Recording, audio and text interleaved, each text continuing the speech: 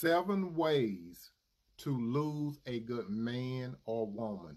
Number one, you place other people and things before him or her. Number two, no quality time. Number three, no attention. Number four, as Aretha Franklin would say, no respect. Number five, no nurturing.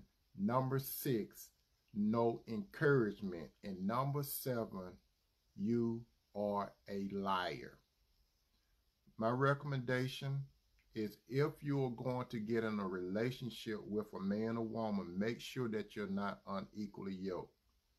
Always get in a relationship with a man or woman that is following God through his son Jesus Christ. Remember this, believe this, say la vie, and amen.